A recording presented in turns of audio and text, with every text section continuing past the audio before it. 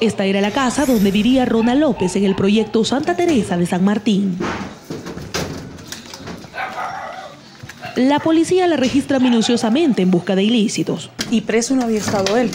No, pero ya tenía una ficha. Y es que quien la habitaba, este joven, hasta hace unos días desconocido para muchos, se ha robado la atención por los hechos atroces que se le atribuyen, decapitando a dos hombres y hasta queriendo tener relaciones sexuales con uno de los cadáveres. Porque sí había actuado violentamente en muchas ocasiones, pero no a ese punto. Entre los vecinos que lo conocen hay asombro por ese niño inquieto que vieron crecer en la comunidad, pero que según ellos la droga transformó. Bueno, fumar marihuana dice que da, da eso, le dice que le dan ganas, me está diciendo un señor, yo fumaba, me dice, le dan ganas a uno de, de matarme o de robar, y quizás de, de eso es lo que le, le pasó a él. Como que ver el lunes antepasado, él, según me dijo, porque yo estaba en el culto en la iglesia, él se estuvo masturbando aquí en mi puerta. Incluso en una de las habitaciones hay gabacha del hospital psiquiátrico. Ya la última quincena no lo llevaron, creo que por cuestiones económicas. Vivía solo. Su desequilibrio mental lo llevó al punto de atentar contra su madre, una vendedora de flores.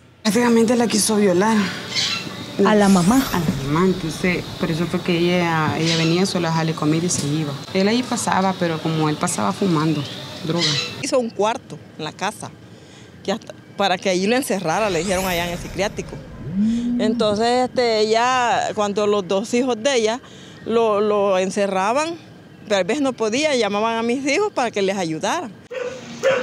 La tarde del miércoles, Ronald López salió de su casa porque uno de sus vecinos, José Israel, de 57 años, le pidió que lo acompañara para ir por leña en la misma zona.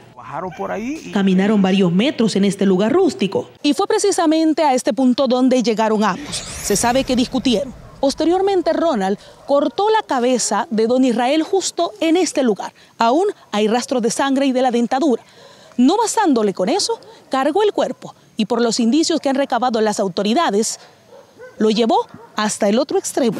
Tuvo chance para colocar la cabeza en una bolsa plástica, selladita en una bolsa negra.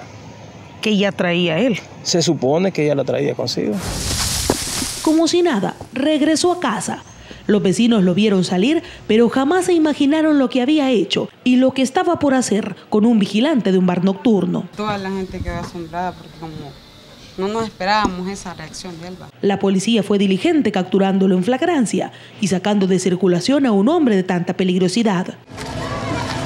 Pero la tarea no está fácil en las calles, pues así como él, habrá muchos producto de las drogas, de la violencia o de otros factores, pero siendo un riesgo en esta sociedad, un riesgo que también la autoridad está obligada a enfrentar.